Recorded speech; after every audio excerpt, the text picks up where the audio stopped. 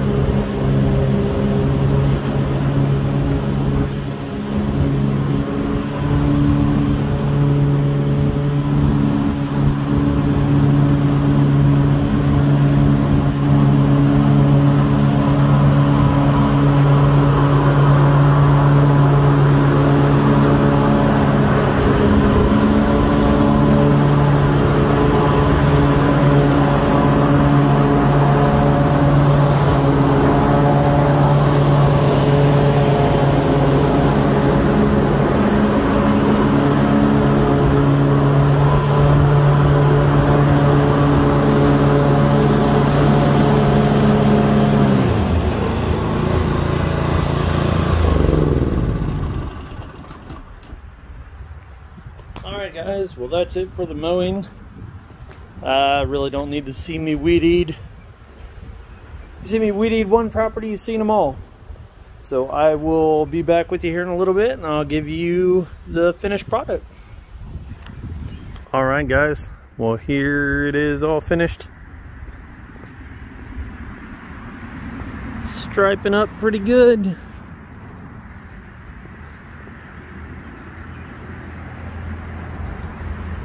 Yeah, it's gonna look really good with that fresh black mulch and the bushes trimmed up back there. I'll definitely get you a video of that.